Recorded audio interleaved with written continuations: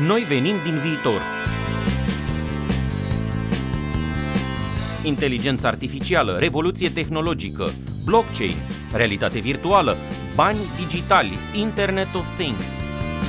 Vreți să țineți pasul cu noile tehnologii care ne schimbă viața? Stați cu noi la emisiunea Noi venim din viitor, prima emisiune de radio din România despre secretele viitorului. Cu Mirel Bran și invitații săi la RFI România, în fiecare vineri de la ora 5 și jumătate la 6 și în reluare sâmbătă după știrile de la ora 11. O emisiune oferită de BRD, Grup Societe Generală. Bine vă regăsim la o nouă ediție a emisiunii Noi venim din viitor, prima emisiune din România în care vorbim nu despre ce a fost, ci despre ce va fi. Sunt Mirel Bran și timp de o jumătate de oră vă propun să ne uităm la noi puțin pe dos, nu dinspre trecutul nostru, ci din viitorul nostru.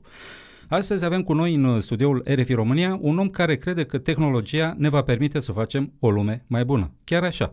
Andrei Naghi este un cibernetician. Ce face un cibernetician? Caută modele matematice pentru rezolvarea problemelor noastre de zi cu zi. Astăzi a ajuns să lucreze la un proiect foarte sofisticat, Alpha Block, o formă de inteligență artificială generală. Vom dezvolta această temă în cadrul acestui interviu și vă promit că veți afla lucruri fascinante. Domnule Andrei Naghi, bine ați venit în studioul RFI România. Povestiți-ne cum ați plecat dumneavoastră la drum cu un startup și ați ajuns unde sunteți astăzi. Bună ziua, mulțumesc în primul rând pentru invitație. Povestea începe în anul 99, la terminarea facultății, pentru că internetul în America de Nord uh, bubuia. Atracția a fost, a fost uh, naturală și am început prin construcția unui portal pe internet uh, care prezenta produse standardizabile și ofertele de prețuri pentru a le putea compara și a putea alege între acele produse. În 1999, în România, nu existau mai mult de 600.000 de linii de telefonie, mă refer aici la infrastructura de telecomunicații, care să permită accesul la acel tip de serviciu, atât din partea beneficiarilor clienți, cât și din partea celor care l-ar fi dorit. Înțelegând uh, că mai lipsesc și uh, servicii de plată sau mecanisme de plată, cum ar fi plățile cu ajutorul cardurilor, cât și mecanismele de livrare a produselor, da? un serviciu de curierat, uh, am continuat prin uh, a alege să întrerup uh, acea activitate și a construi o companie de software care să rezolve probleme punctuale ale diverselor industrie, unde am învățat mai degrabă cum funcționează alte industrii, înțelegându-le problemele și găsindu-le variate forme de a le sprijini prin aceste tehnologii noi care apăreau, atât prin poziționarea lor corectă uh, într-un mediu online, cât și prin rezolvarea uh, cu niște modele inteligente a proceselor de business pe care le aveau ei. Noi venim din viitor, prima emisiune de radio din România despre secretele viitorului. Cu Mirel Bran și invitații săi la RFI România. Uh, domnule Andrei Naghi, uh, aș vrea să vă dezvoltăm puțin tema asta cu cibernetica. Pentru mulți sună așa ceva exotic, sunt unii cu matematică pe acolo, se ocupă de lucruri complicate. Cibernetica, cum am putea o rezuma, dincolo de definiția pe care am dat-o de ea, despre ea, de crearea de modele matematice pentru rezolvarea problemelor de zi cu zi? Cum ați uh, traduce această știință pe limba tuturor, a unor oameni care nu au neapărat o formare uh, matematică sau tehnologică în spate? Ar fi simplu să o privească ca și pe o, un set de metode și mecanisme care ne ajută să facem calculele despre ceea ce ne interesează mai simplu de înțeles Uh, în, în perspectiva nevoii noastre de a identifica niște rezultate măsurabile pe baza cărora să putem să luăm niște decizii vis-a-vis de procesele pe care le gestionăm, prezente adică, și viitoare.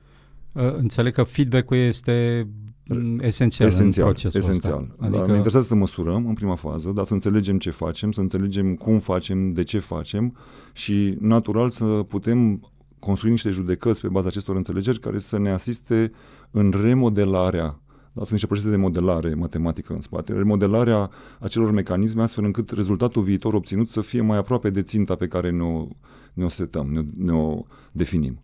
Asta e de fapt procesul de cunoaștere, e, e, cunoș- e procesul vieții de fapt. Corect. Adică e, uh, acum ascultându-vă m- mi-a venit imaginea asta în, în, în minte. Eu stau aici, în locul în care sunt, da? Deci sunt ceea ce sunt în acest moment, dar în același timp eu în capul meu îmi imaginez niște lucruri pe care mi le doresc, îmi fixez o țintă și vreau să ajung în punctul B, să zicem că sunt în A și vreau să merg până în punctul B. Îmi fac niște calcule cum să ajung până acolo, drumul cel mai scurt, dar s-ar putea ca pe drum mintea mea să o ia aiurea, să o ia apărătură și să mă trezesc că am cotit-o mai spre dreapta. Corect. În momentul ăla apare uh, ceea ce numim feedback, adică mă uit din nou la scop, la ținta pe care mi-am propus-o și îmi dau seama că m-am îndepărtat de ea, nu m-am apropiat și atunci recalculez uh, care ar fi cea mai scurtă distanță din punctul ăla până la țintă și o iau din nou spre țintă și pot să mai fac chestia asta de două, trei ori pe drum până ajung acolo, adică să o iau așa mai zigzag, dar până la urmă ajung la țintă tocmai datorită acestui proces de feedback pe care îl fac uh, practic continuu în raport cu ținta. Uh, mi se pare fascinant uh, disciplina asta în sine pentru că practic stăteam și mă gândeam că asta imită de fapt procesul nostru cognitiv, uh, vital. Asta e viață de fapt. Într-adevăr, noi am încercat să găsim metode care să ne ajute să înțelegem procesele noastre naturale, să înțelegem uh, felul în care le putem ajusta și felul în care ne putem repoziționa față de ele, pentru că aceste traiectorii despre care povestim drumul nostru în viață, până la urmă e construit de o sumă de acțiuni, da? de, de elemente care îl, îl constituie, uh, unde traiectoria fiecăreia însumată își aduce aportul la uh, atingerea sau nu a obiectivului drumului întreg.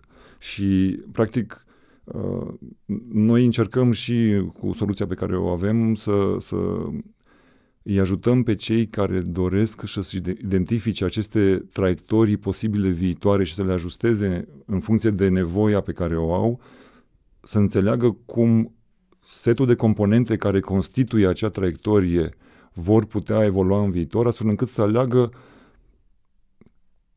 să aleagă pe cele care sunt cele mai potrivite pentru a-și atinge obiectivul viitor.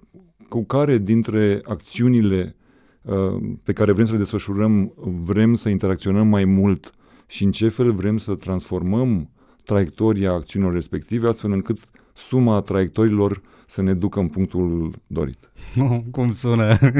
Vorbiți ca un matematician acum aproape.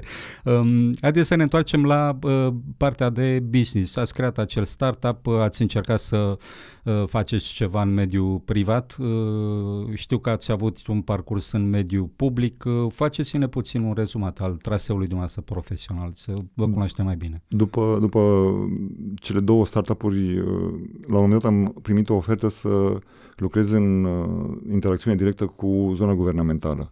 Și atunci a fost momentul în care mi-am dat seama că oportunitatea de a înțelege sistemic funcționarea acestor mecanisme din interior uh, e o, e o, o șansă de nepierdut, de neratat.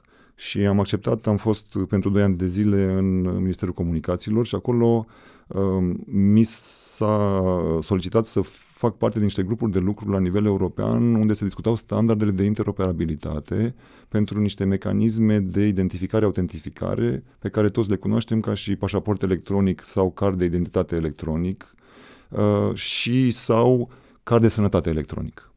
Acolo am înțeles uh, din nou diferențele funcționale și la nivel de infrastructură și la nivel de procese de business între noi, la momentul respectiv, noi România și restul țărilor europene, pentru că abordând această nevoie prezentă și viitoare de interoperabilitate, interacțiunea pe care am avut-o cu toate grupurile din țările respective mi-a dat șansa să înțeleg aceste diferențe. Câți uh, ani ați lucrat? Doi ani? Ați Doi ani de zile. În mediul Doi ani de public. zile. Și după mediul public uh, v-ați întors în privat? Din mediul public uh, am fost recrutat de organizații mari. Organizații mari care, înțelegând viitoarea integrare a noastră în Uniunea Europeană, veneau deja să construiască sau să contribuie la construcția acestor infrastructuri despre care povesteam mai devreme că ne lipseau. Practic, pentru vendorii de tehnologie, lipsa acestor tehnologii la nivel național a reprezentat o oportunitate de business extraordinară, uh, ei venind din piețe care erau saturate din perspectiva acestor te- tehnologii și uh, au venit uh, să asiste transformarea pieței din România, unde cred că toată lumea știe și a observat faptul că la un, un anumit moment uh, noi am fost într-o poziție din care aveam o nevoie evidentă pentru aceste tehnologii, uh, vendorii ne-au adus ultimele generații tehnologice disponibile la momentul respectiv. Lucru care ne-a pus într-o poziție de salt tehnologic, leapfrog, uh, în toate domeniile, atât în comunicații, cât și în tehnologia informației, cât și în zona de plăți, cât și în, în alte domenii, unde uh, folosind ultimele inovații, noi practic ne-am poziționat înaintea lor cu două sau trei generații, tehnologic vorbind.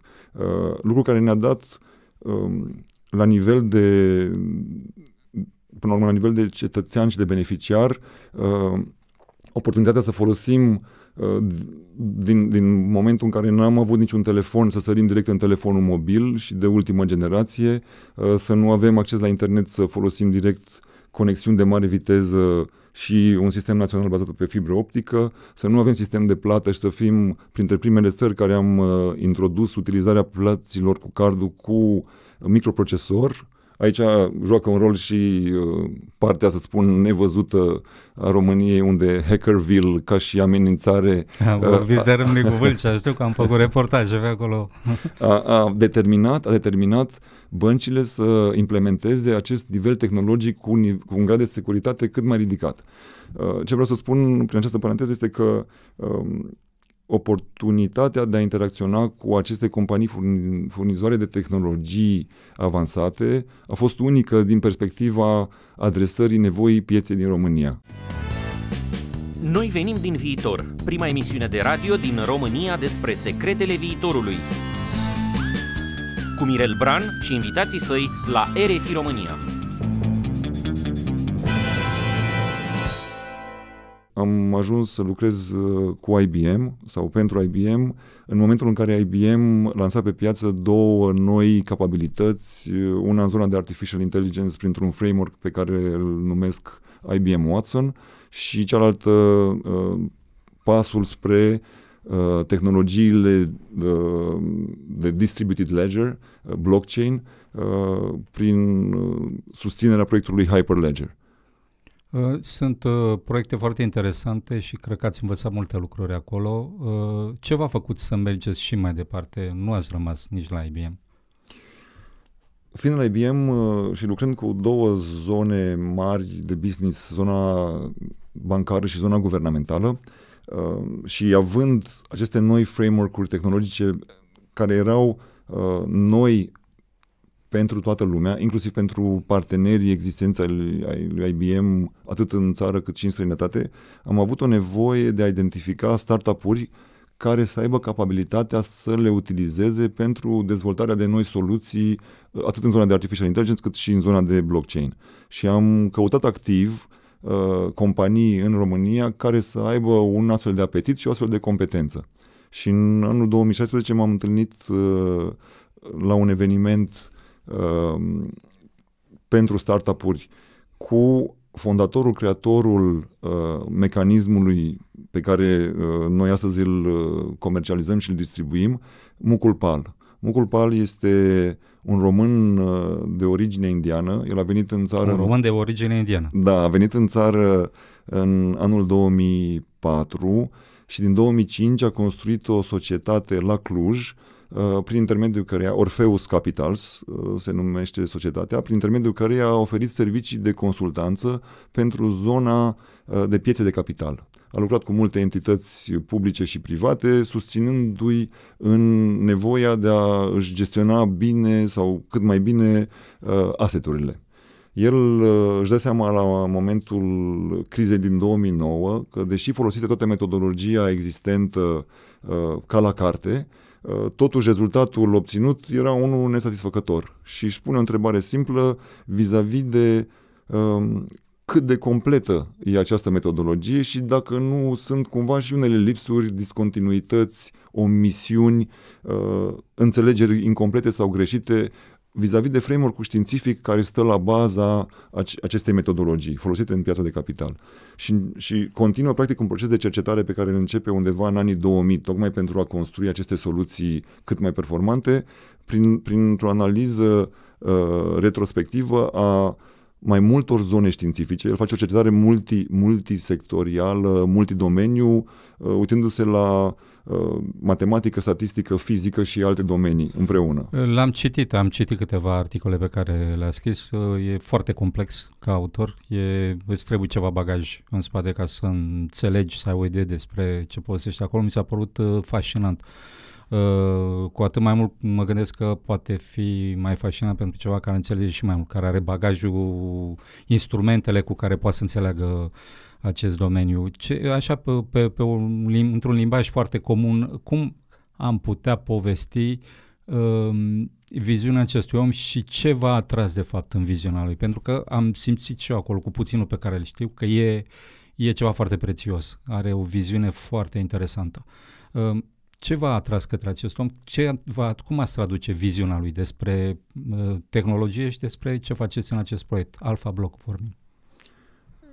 Primul lucru care m-a frapat a fost uh, faptul că în momentul în care l-am întâlnit, el deja avea peste framework-ul științific pe care îl construise uh, sau îl descoperise, um, construite mecanisme funcționale validate în piață. Și mă refer aici la faptul că avea clienți din anul 2012, eu am întâlnit cu el în 2016, uh, clienți în Canada și în America, avea un index uh, pe care l-a listat la Nasdaq în anul 2014 cu scopul uh, de a demonstra această capabilitate, de a face o selecție dintr-un grup de referință, dintr-un grup al celor mai mari uh, jucători din piață a unui subgrup care dezvoltă o performanță viitoare mai bună decât performanța media grupului. Și acest mecanism uh, în piața de capital poate fi demonstrat cu ajutorul unor instrumente de tip index, uh, unde uh, se poate urmări această performanță viitoare de la momentul creierii subgrupului respectiv. El se duce la Nasdaq în 2014 și le prezintă această oportunitate. Cei de la Nasdaq fac întâi un test pentru validarea mecanismului pe date istorice din 2004 până în 2014. Rezultatele sunt extrem de încurajatoare și uh, sunt de acord să listeze într-un mecanism co-brandat uh, acest uh, produs. Performanța mecanismului astăzi față de benchmark este la mai mult decât dublul performanței benchmarkului.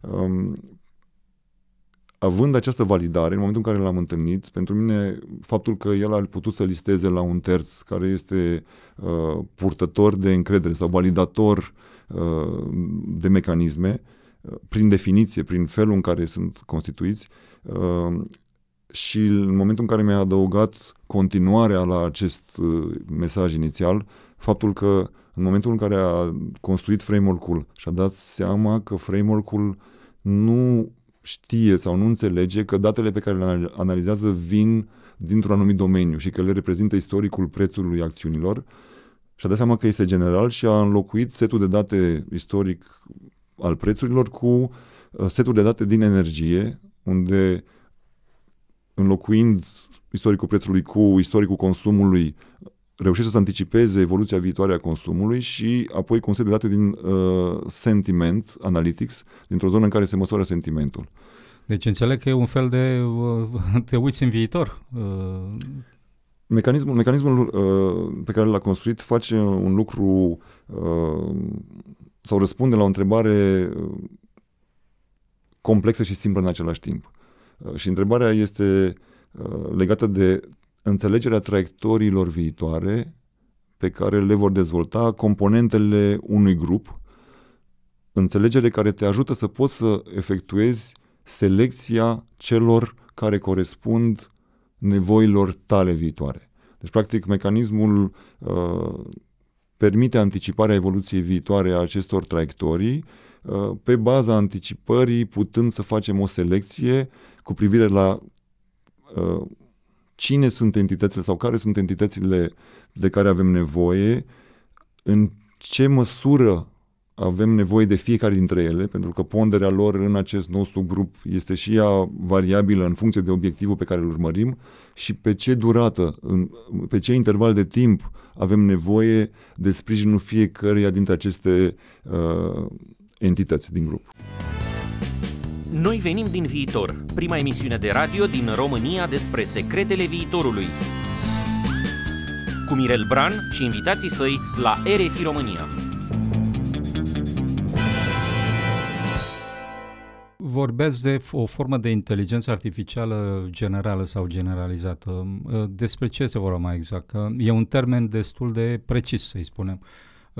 În general, Uh, acest proces de robotizare începe cu operațiuni mecanice. Mm, mă rog, vedem acum roboți care fac mașini, fac tot felul de lucruri, uh, dar încet, încet de la aceste, această robotizare a proceselor uh, mecanice s-a mers mai departe cu robotizarea multor procese de la contabilitate și mai știu ce alte domenii, Uh, avem exemplu afaceri de succes românească pornită din România, UiPath, uh, care se ocupă de RPA, de Robot Process Automation, uh, și avem această formă de inteligență artificială foarte sofisticată, inteligență artificială generală sau generalizată, care încearcă, de fapt, să, um, să imite, recuperează, de fapt, procesul cognitiv al omului și eventual poate și parte din procesul afectiv, uh, ca să creeze uh, o viziune și o plus valoare practic dată de mașina respectivă. Um, această, această aplicație de care vorbim, uh, Alpha Block, înțeleg că este din, se duce către această direcție de inteligență artificială uh, generală. Ajutați-ne să înțelegem mai bine. Um, dificultatea în a înțelege ceea ce facem pleacă ca și în alte domenii de la nivelul informațiilor și al cunoștințelor la care au avut cei cu care discutăm acces și la felul în care aceste informații au fost uh, înțelese de ei. M-ați întrebat mai devreme ce este cu adevărat special în ceea ce a construit uh, Mucul Pal. Uh, el observă aceste sisteme ca pe niște sisteme naturale. Uh, și uitându-se la ele ca la niște sisteme naturale, adaugă uh, o observație fundamentală și anume faptul că natura este inteligentă și dacă noi suntem capabili să înțelegem inteligența naturii, uh, mai degrabă ar fi bine să încercăm să o copiem pe aceasta și nu să încercăm să ne copiem pe noi cu inteligența noastră umană, care în fața inteligenței naturii este limitată. Foarte interesantă răsturnarea asta de perspectivă, că de fapt noi ne comparăm cu noi. Comparat, dacă ne comparăm cu aceste procese de inteligență naturală, cum le spuneți, da, s-ar putea să avem de câștigat din a ne uita mai bine la ele. Și el vine și, uh, și întărește cumva aceste observații uh, spunând că observă în toate direcțiile multe, multe patternuri. Și această înțelegere a existenței patternurilor în toate fenomenele care ne înconjoară și nevoia de a înțelege felul în care patternurile se construiesc, se dezvoltă și evoluează în piața financiară, practic, pentru noi înseamnă același lucru. Nu vedem nicio diferență între felul în care aceste cicluri, supracicluri, subcicluri se dezvoltă în domenii diferite, diferite și implicit nici sistemul nostru nu face o diferență între aceste tipuri de uh, date provenite din domenii diferite. Generalitatea pentru noi înseamnă capabilitatea de a folosi același mecanism pentru seturi de date din domenii diferite, indiferent de domeniul din care vin acestea, cu scopul de a obține aceleași tipuri de înțelesuri și aceleași tipuri de rezultate, folosindu-ne de validarea din domeniul financiar, unde acest exercițiu este printre cele mai dificile uh, pe care poți să le încerci dacă, dacă dorești să construiești o soluție de anticipare sau de, uh, de predicție, um, translatându-le și reutilizându-le în orice alt domeniu unde încă nevoia de anticipare nu e la fel de bine conștientizată. Noi venim din viitor, prima emisiune de radio din România despre secretele viitorului. Cu Mirel Bran și invitații săi la RFI România. Da, în domeniul financiar toată lumea visează să previzioneze clar ce se va întâmpla mâine. Înțeleg că Alpha Block această este o aplicație, cum o definiți? Este o aplicație? O platformă, o, o soluție, platformă? un framework uh, pe care uh, am reușit să-l construim astfel încât să putem să consumăm seturi de date. În prima fază, setul de date uh, din zona financiară, da? evoluția istoricului prețului acțiunilor plus evoluția acestuia în fiecare zi.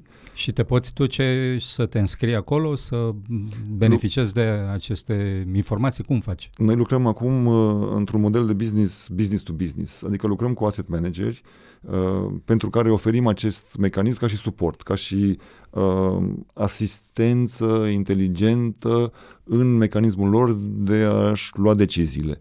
Și acest mecanism de tip suport folosit de ei, practic permite construcția de către ei a acestor portofolii cu o performanță mai bună decât capabilitatea pe care o aveau ei sau altcineva în piață, astfel încât beneficiarul final, investitorul, fie că este unul instituțional, fie că este unul privat, să poată să beneficieze de acest exces de performanță. Obiectivul nostru este să-i ajutăm să, să, să dezvolte mecanisme care cu un risc mai mic față de alternativa pe care ar putea o alege, să dezvolte o performanță mai bună decât acea alternativă. Da, e rezumat destul de bine. Am ajuns deja la finalul emisiunii, timpul trece foarte repede.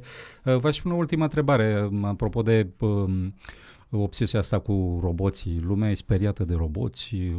Îmi zici roboți și inteligența artificială, mulți se gândesc la Terminator care vine și ne rade pe toți. Um, și mă gândesc așa, dacă ați avea un robot care ar putea face tot ce faceți dumneavoastră într-o zi uh, ca să vă libereze timpul la maxim și aveți tot timpul din lume, ce ați face?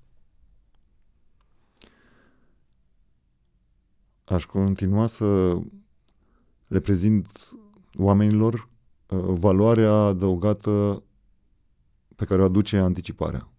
Capabilitatea de a înțelege cât mai bine uh, în ce fel lucrurile care contează pentru noi vor evolua în viitor ne va permite să ne putem readresa sau reajusta felul în care ne vom bucura sau nu de rezultatele pe care le putem obține.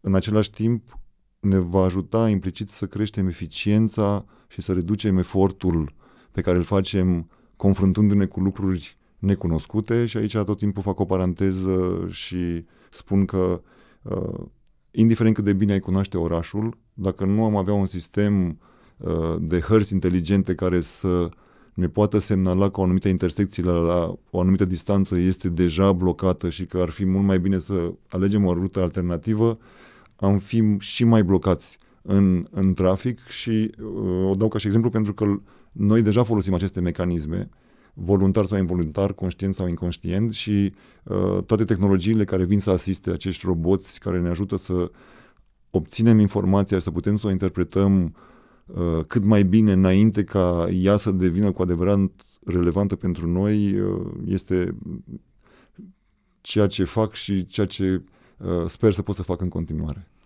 Eram sigur că voi avea un răspuns uh, cibernetic.